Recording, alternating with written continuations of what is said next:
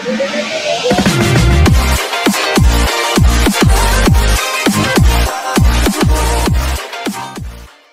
hey guys कैसे हो आप लोग? आज हम प्रोस्पेक्टस का चैप्टर ख़त्म करने जा रहे हैं कंपनी लॉ में। ये सेकंड पार्ट होने वाला है फ़र्स्ट पार्ट ऑलरेडी अपलोड हो चुका है, आप जाके देख सकते हैं। गाइस आपको वीडियो के लिए भटकने की ज़रूरत नहीं है जस्ट सर्च करना की ऑफ़ कॉमर्स यूट्यूब पे। जो फ़र्स्ट चैनल आएगा, वो हमारा होगा, वहाँ पर जाके आप प्लेलिस्ट में जाओगे तो आपको सभी वीडियोस ऑर्गेनाइज मैनर में मिल जाएँगी। और गाइज़ इस वीडियो के ऑनवर्ड्स हम ये भी स्टार्ट कर रहे हैं कि डिस्क्रिप्शन में भी हम लिंक देना स्टार्ट कर दें प्लेलिस्ट का, जिससे आपका जो टाइम होगा वो काफ़ी बच जाएगा। तो गाइज़ यही थी कुछ इन्फॉर्मेशन सो अब देख लेते हैं कि अब हमको इस चैप्टर में बचा क्या है पढ़ने के लिए। गाइस एग्ज़ाम इंपॉर्टेंस मैं आपको पहले बता दूँ तो जो रेड हियरिंग और सेल्फ प्रोस्पेक्टस है, वो काफ़ी इंपॉर्टेंट है और जो रेमेडीज़ हैं, ये भी आपसे पूछ ली जाती हैं एग्ज़ाम में।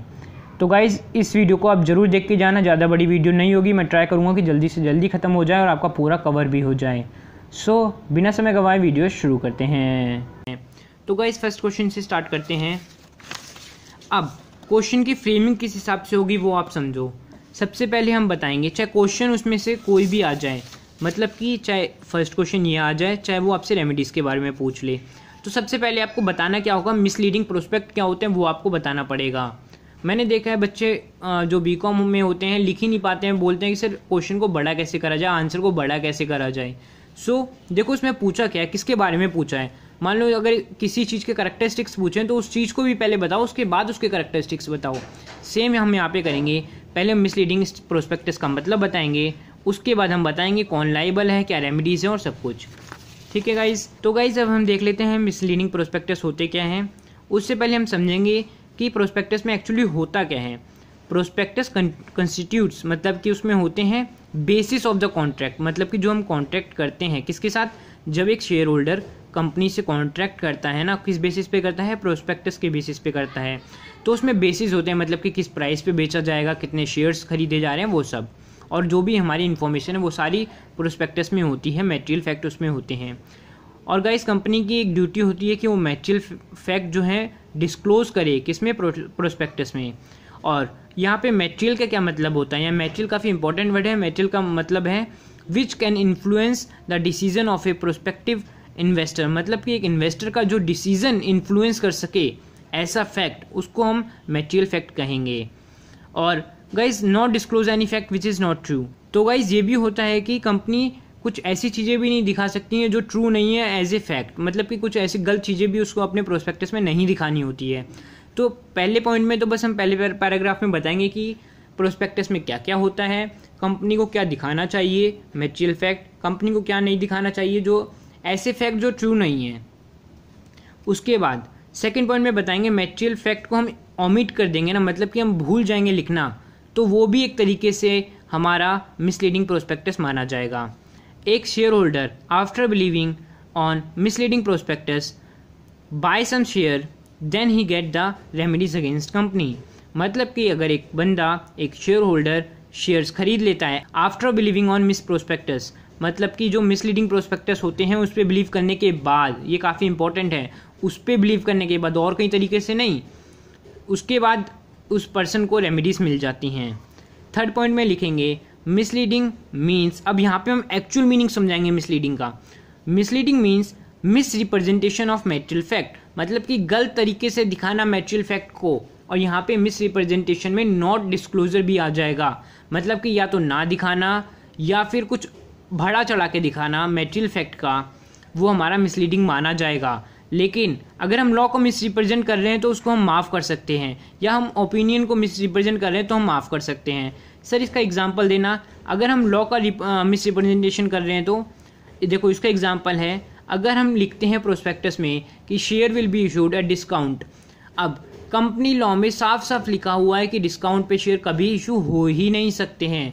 सो so, अगर कंपनी ऐसे प्रोस्पेक्ट लिख के भेजती है तो वो एक फैक्ट का डिस्क्लोजर गलत नहीं कर रही है। वो एक लॉ जो लॉ बना हुआ है उसका मिसरिप्रेजेंटेशन कर रही है। और उसकी इन्फॉर्मेशन उसकी नॉलेज एक शेयर होल्डर को होनी चाहिए।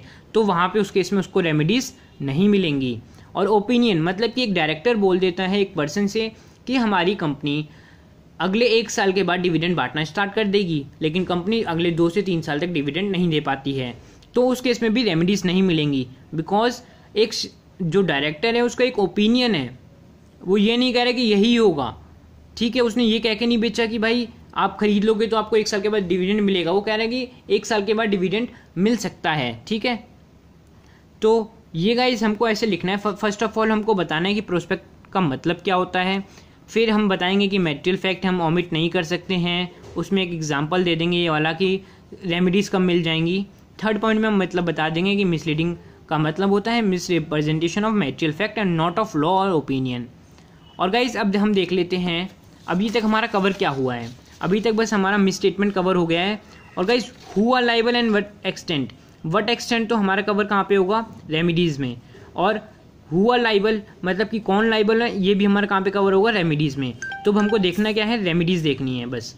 तो उसके बाद हमारा कवर हो जाएगा पूरा पॉइंट अभी तक बस हमने मिस स्टेटमेंट होती क्या है प्रोस्पेक्ट में उसको समझा है। ठीक है? अब जब हम रेमिडीज समझेंगे, उसी में हमारा लाइबल कौन है और किस हद तक लाइबल है, वो हमारा कवर हो जाएगा। सो उसको हम टेन ईयर से पढ़ लेते हैं। तो जल्दी समझ भी आ जाएगा और आप जब पढ़ोगे तो आपको थोड़ी प्रॉब्लम भी नहीं होगी। सो so गाइस अब हम मिसलीडिंग प्रोस्पेक्टस का मीनिंग देख चुके हैं। अब हमको देखना है रेमिडीज़ गाइस रेमिडीज़ हमारे पास दो टाइप की होती हैं। वो कौन कौन सी होती है, अब देख लेते हैं। एक होती है हमारे पास कंपनी के खिलाफ रेमिडीज़ और एक डायरेक्टर के खिलाफ। एक तरीके से रेमिडीज़ को आप बोल सकते हो क्या क्या हम एक्शन ले सकते हैं कंपनी के खिलाफ और क्या क्या एक्शन ले सकते हैं हम डायरेक्टर्स के खिलाफ। अब सबसे पहले हम पॉइंट को देखेंगे remedies against the company company के खिलाफ क्या क्या हमारे पास रेमिडीज़ हैं? तो सबसे पहले इसको भी दो पार्ट में बांटा गया है। ठीक है? कौन कौन से हैं? एक है हमारा rescission of the contract to take और एक्सेप्ट शेयर्स और सेकेंड है डैमेज फॉर एक second damage for fraudulent misstatement और कंसीलमेंट अब फ़र्स्ट पॉइंट को हम पढ़ते हैं। अब ये जो हमारा रिसेशन वाला पॉइंट है, कब माना जाएगा? This share holder has to seek the remedy within a reasonable time and has surrender the share to the company मतलब कि इस रेमेडी के लिए जो शेयर होल्डर को अपने शेयर्स सरेंडर करने पड़ेंगे सरेंडर मतलब कि वापस देने पड़ेंगे, साथ के साथ उसे एक रीज़नेबल टाइम में कंपनी को बताना पड़ेगा कि ये हमारे साथ गलत हुआ है और मैं एक्शन लेने जा रहा हूँ। दिस कंडीशन मस्ट सेटिस्फाइड मतलब कि चार कंडीशन सेटिस्फाई होनी चाहिए जब वो ये रेमेडीज़ ले पाएगा। कौन कौन सी? सबसे पहले प्रोस्पेक्ट जो हमारे प्रोस्पेक्टस हैं, वो एकदम जैसे प्रोविज़न थी, वैसे इशू हुए हों। Second prospectus contain a mis representation उसमें एक मिस रिप्रेजेंटेशन हो ऑफकोर्स तभी तो हम ऐसा कर रहे हैं। और third is representation was material and related to such fact मतलब कि जो मिस रिप्रेजेंटेशन तो थी, साथ के साथ वो मेटेरियल भी थी। ठीक है? और फोर्थ पॉइंट क्या हमारा? Subscriber actually relied upon the statement simple चार पॉइंट है। अब इसे आप देखोगे नहीं तो भी बोल दोगे। जो प्रोस्पेक्टस इशू हुए हैं वो अकॉर्डिंग टू लॉ इशू हुए हों। जो हमारे प्रोस्पेक्टस हमारे इशू हुए हैं वो उसमें मिस रिप्रेजेंटेशन थी। थर्ड पॉइंट में मिस रिप्रेजेंटेशन थी तो वो मेटेरियल थी। और जो हमारा फोर्थ पॉइंट है कि हमने जो शेयर ख़रीदे हैं वो प्रोस्पेक्टस पे बिलीव करके ही ख़रीदे हैं। वो मैंने आपको पहले ही बता दिया था। ठीक है? सो so, ये हमारे पॉइंट हो जाएँगे। अब किस किस केस में हमको ये राइट नहीं मिलेगा? मतलब कि जब हम, ये राइट है क्या हमारा? कि हम अपने जो पैसा वापस ले सकते हैं कंपनी से मतलब कि अपने शेयर दे दें और पैसा वापस ले लें, ये चार केसेस होंगे, तब हम ऐसा कर सकते हैं। लेकिन अगर ये चार केसेस नीचे वाले हो गए तो हम ऐसी रेमेडीज़ नहीं ले पाएँगे। कौन कौन से? If the authority does not start the proceeding within a reasonable time मतलब कि एक रीजनेबल टाइम में हमने नहीं किया। मतलब कि हमने पूरा विचार विमर्श कर रहे थे, उसके बाद भी नहीं किया। काफ़ी टाइम के बाद हमको लगा कि अब ऐसा कर देना चाहिए तो वो नहीं माना जाएगा। Expressly affirm the his contract after becoming affirms का मतलब होता है कि एक तरीके से हमने अपना लिया मतलब कि शेयर इशू हुए, और हमने ले भी लिए। उसके बाद हमने कुछ नहीं किया, हमने डिविडेंड भी ले लिया, उसकी जो अर्निंग्स से जो भी फ़ायदे बेनिफिट है, सब हम लेते गए। उसके बाद हम बाद में कहते हैं कि भाई अब हमें नहीं चाहिए। ये हमारे साथ धोखा हुआ था। मिस रिप्रेजेंटेशन मेटेरियल फैक्ट की थी प्रोस्पेक्टस में, और हमको अभी पता लगा। तो ऐसा नहीं माना जाएगा। हमको एक तरीके से रीजनेबल टाइम में करना है, और उसका कोई बेनिफिट नहीं ले लेना है। थर्ड पॉइंट लिक्विडेशन में हो गई अगर कंपनी की तो अभी हम ऐसा कुछ रेमेडीज़ नहीं ले पाएँगे। और fourth point is if he is a man of such experience that is not likely to mislead by mis statement इसका मतलब क्या है कि इसको हम यहाँ पे समझते हैं। कोई बात नहीं, ख़राब हो जान दो। एक पर्सन था, ये बहुत बड़ा इन्वेस्टर था, बहुत बड़ा, और ये डेली बेसिस पे ट्रेडिंग करता था। अब ये अगर कोई मिसलीडिंग है, कुछ ऐसा कुछ मेटेरियल फैक्ट की मिसलीडिंग है, जो कि देखते ही पता लग जाएगी, एक अच्छा इन्वेस्टर होगा तो। तो उस केस में हम करेंगे क्या? इस बंदे को ए को नहीं देंगे। इसको ए को रेमेडी नहीं देंगे। वट हैपन ये फोकस क्यों नहीं कर रहा है?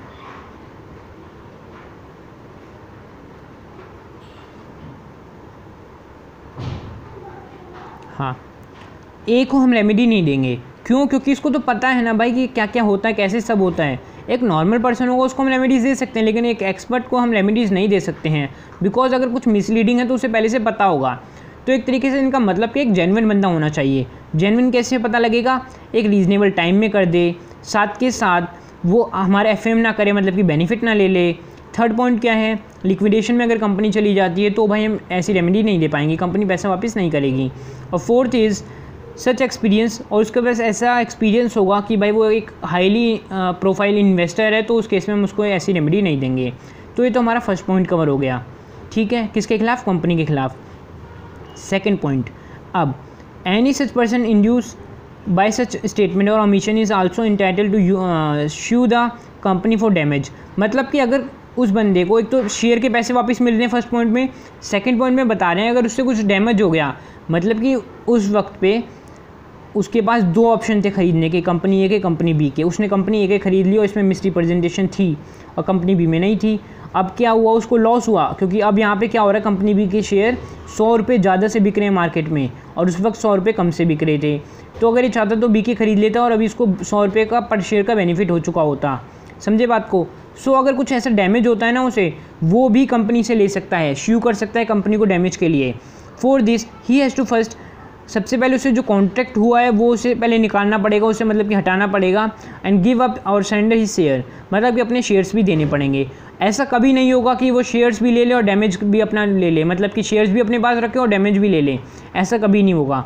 इसमें नीचे लाइन में लिखा हुआ allottee of an share can not claim damage also side by side retain his shares ठीक है? अब उसको दो कंडीशन फुलफिल करनी पड़ेंगी that the misstatement were made fraudulently मतलब कि धोखेबाजी से मिसस्टेटमेंट हुई है, और second that he has actually been deceived मतलब कि वो हकीकत में उन जो प्रोस्पेक्टस को देख के ख़रीदा और उसके साथ धोखा हुआ है, ठीक है? तो ये दो पॉइंट हमारे किसमें होते हैं? कंपनी के खिलाफ। अब हमको देखना क्या है? Remedies against directors promoter and experts उसको हम नेक्स्ट पेज पे देख लेते हैं। और गाइस ये बोला जाता है जो डैमेज लिए जाते हैं ना, ये सीधे कंपनी से नहीं लिए जाते हैं। ये सारे डैमेज लिए जाएँगे डायरेक्टर से। ठीक है? बस बोला, बोल दिया गया कि हम कंपनी से भी ले सकते हैं, लेकिन एक्चुअल में जो डायरेक्टर इन्वॉल्व होते हैं ना, वो हमसे डायरेक्टर से लिए जाते हैं कंपनी नहीं देती है। और गाइज़ अब एक बार हम क्वेश्चन देख लेते हैं। सो हुआ लाइबल यहाँ पे क्वेश्चन है हमारा हुआ लाइबल सो लाइबल तो कंपनी भी है डायरेक्टर भी है, ये हमारा पॉइंट कवर हो गया। और किस हद तक लाइबल है हमने देख लिया कि एक तो भाई डैमेज भी भरने पड़ सकते हैं, साथ के साथ जो भी हमारे डैमेजेस हुए हैं मतलब कि जो हमारे शेयर्स के पैसे थे एक्चुअल वो भी हमको वापस करने पड़ेंगे। तो रेमेडीज़ में हमारे दोनों पॉइंट कवर हो जाते हैं। आप ये लिख के आओगे तो टीचर आपका गलत नहीं करेगा। सो अब हम सेकेंड पॉइंट देख लेते हैं। वो है हमारा remedies against director promoter and experts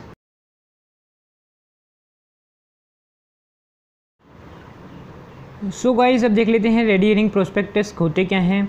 guys इसको मैं बताऊँ तो आपको होता क्या है कि एक तरीके से, अब यहीं पे देख लो, आपकी एक, हमारा जो ओरिजिनल प्रोस्पेक्टस होता है ना, उसका एक छोटा रूप होता है हमारा रेडी हियरिंग प्रोस्पेक्टस सर, इसे इशू क्यों करते हैं?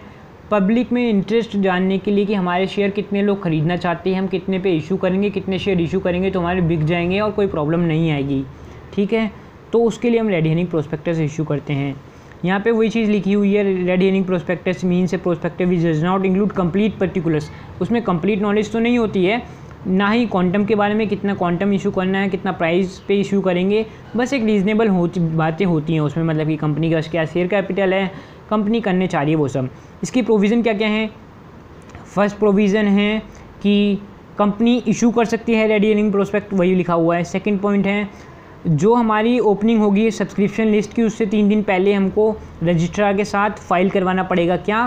रेड हियरिंग प्रोस्पेक्टस साथ के साथ हमारा थर्ड पॉइंट है इसमें कि जो हमारा रेड हियरिंग प्रोस्पेक्टस है, वो हमारे सेम ऑब्लिगेशन होगी एक प्रोस्पेक्टस की तरह। मतलब कि अगर हमने कुछ मिसलीडिंग बातें बताई हैं मतलब कि शेयर कैपिटल ज़्यादा दिखा दी कंपनी की तो उस केस में जो सेम लाइबिलिटी होगी जैसे हमारी नॉर्मल प्रोस्पेक्टस में होती है।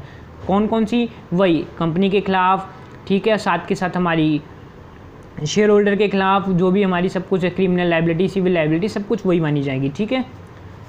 और फोर्थ पॉइंट है कि जब हमारा सब कुछ रेडी हेयरिंग प्रोस्पेक्टस हो गया, उसके बाद हमने प्रोस्पेक्टस इशू किया तो दोनों के बीच में जो भी चेंजेस हुआ है कंपनी की शेयर कैपिटल में कंपनी की फिक्स असेट्स में, जो भी मेजर चेंजेस हुए हैं, उन सबको प्रोस्पेक्टस में बताया जाएगा और जो कंपनी जिससे जिस प्राइस पे शेयर करना इशू करना चाह रही है, वो बताया जाएगा, जितने शेयर इशू करना चाहिए वो बताया जाएगा और उसको फ़ाइल कर दिया जाएगा रजिस्ट्रार के साथ।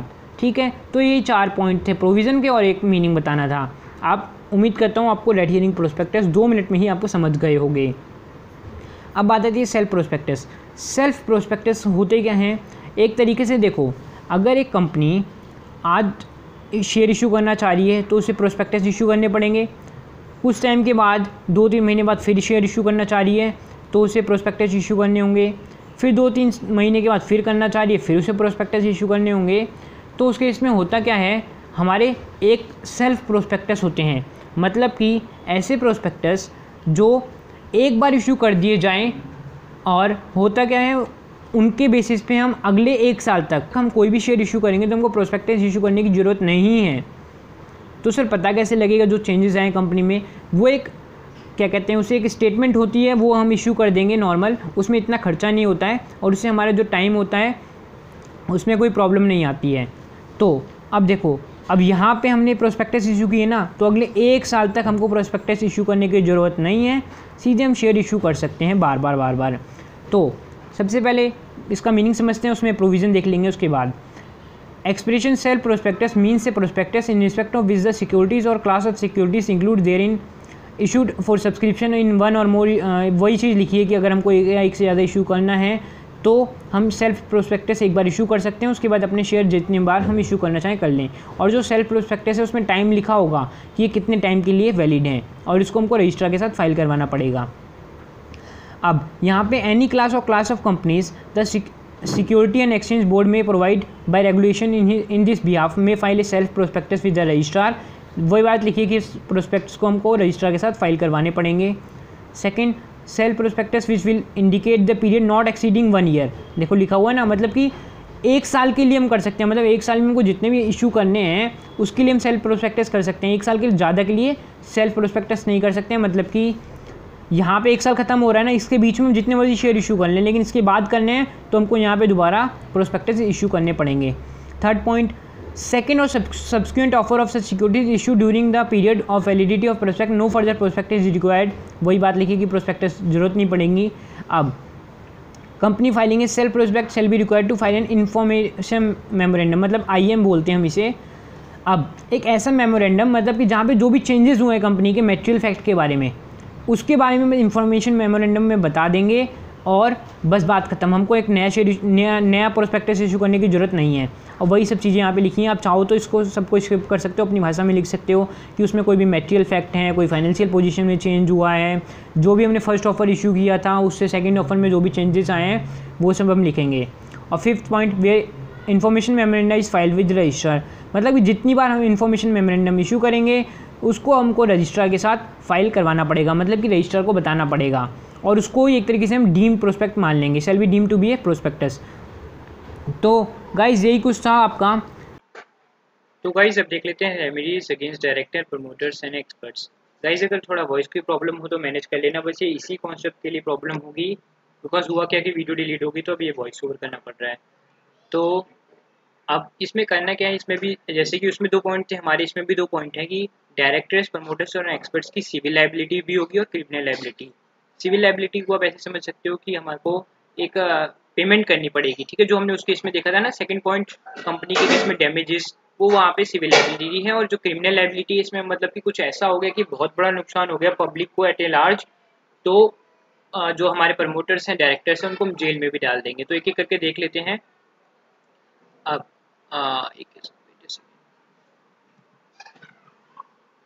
वेयर ए पर्सन है subscribe for securities of a company अब देखो सिविल लाइबिलिटीज होगी कब? वेयर ए पर्सन है subscribe for a security of a company acting on any statement मतलब कि अगर एक पर्सन ने सब्सक्राइब कर लिए हैं शेयर्स को कंपनी के, किस पे रिलाई करके एक स्टेटमेंट पे मतलब कि एक प्रोस्पेक्टस पे रिलाई कर लिया है तो उस केस में हमको सिविल लाइबिलिटी का जो है डायरेक्टर्स के ऊपर हम लगा सकते हैं। लेकिन किस कौन कौन से डायरेक्टर अब ये भी तो देखो एक कंपनी उसमें तो कितने डायरेक्टर्स होंगे, कितने मैनेजर्स होंगे, कितने प्रमोटर्स होंगे किस किस के ऊपर लगा सकते हैं। तो ये चार, ये पाँच पर्सन है, उनके ऊपर लगा सकते हैं। या तो डायरेक्टर हो कंपनी का, कौन? At the time of issue of prospectus मतलब कि डायरेक्टर वो भी कौन जो प्रोस्पेक्टस इश्यू करते वक्त थे उस वक्त। सेकंड जिसने ऑथराइज किया प्रोस्पेक्टस को मतलब कि जिसने बोला कि हाँ मैं ज़िम्मेदारी लेता हूँ। थर्ड कोई प्रमोटर है कंपनी का प्रमोटर आपको पता होगा क्या होता है, मैंने आपको अपनी पिछली वीडियोस में बताया हुआ है। और has authorise the issue of prospectus मतलब कि उसने ऑथराइज कर दिया है अब बी पॉइंट जो हमारा डी पॉइंट है, उसमें अंतर क्या है? बी पॉइंट में ये अंतर है कि ऑथराइज कौन कर रहा है? जो अभी डायरेक्टर बना नहीं है, लेकिन वो कह रहा है कि अभी मैं आगे चल के एक आध महीने में या कुछ टाइम में डायरेक्टर बन जाऊँगा, लेकिन वो फिर भी ऑथराइज कर रहा है तो ऐसा कर सकते हैं, ठीक है? देखो and his name is in the prospector as a director of a company और has agree to become such director मतलब कि डायरेक्टर हो या वो बनने के लिए राज़ी हो, उसने ऑथराइज कर दिया हो या किसी और पर्सन ने ऑथराइज कर दिया हो या कोई एक्सपर्ट हो एक्सपर्ट मतलब कि कोई सी हो सीएस हो, वो भी फंस जाएगा इस केस में, ठीक है? अगर मान लो कुछ मिस स्टेटमेंट होती है प्रोस्पेक्टस में और उससे प्रॉब्लम हो जाती है हमारी पब्लिक को, अब क्रिमिनल लाइबिलिटी क्या होगी? अब इसमें आपको पूरा लिखने की ज़रूरत नहीं है, जितना मैं बोलूँ उतना लिखना है सेक्शन नंबर जो है आपको याद नहीं करने जब तक कि मैं बोलूँ ना आपको, ठीक है? अब criminal liability involve a fine और टर्म्स ऑफ़ इम्प्रिजमेंट और बोथ ऑन ए गिल्टी और पार्टी मतलब कि उसे जेल भी हो सकती है और उसे फाइन भी लग सकता है, ठीक है? अब, किसको होगा जो गिल्टी पार्टी होगी? मतलब गिल्टी कौन? जो भी उसमें इंक्लूडेड होगा। सो so, अब इसमें यहाँ से पढ़ो आप। मतलब इसको बीच की चीज़ लिखने की ज़रूरत नहीं है।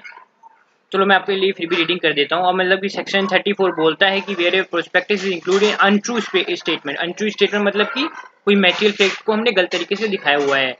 Every person has authorise the issue of such prospective जिसने ऑथराइज किया है वो लाइबल हो जाएगा सेक्शन फोर में। ये हमारा क्रिमिनल लाइबिलिटी का सेक्शन होता है ठीक है? अब इसके लिए हमको करना क्या होगा? दैट द स्टेटमेंट और जो हमारी ऑमिशन है बस वो किस केस में बच जाएँगे? मतलब कि जो गिल्टी हो रहे हैं मतलब कि लॉस हुआ, वो किस केस में बच जाएँगे? या तो जो इन्होंने स्टेटमेंट लिखी है प्रोस्पेक्टस में, वो हमारी क्या है?